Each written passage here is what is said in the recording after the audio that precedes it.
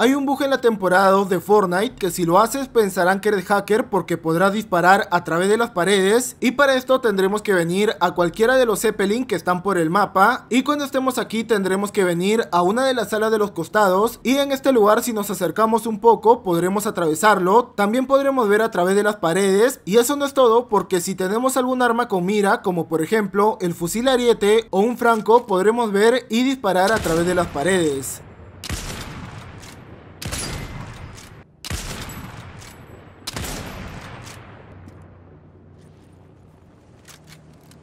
Y un saludo para los últimos suscriptores del canal y si quieren aparecer en esta parte no olviden suscribirse.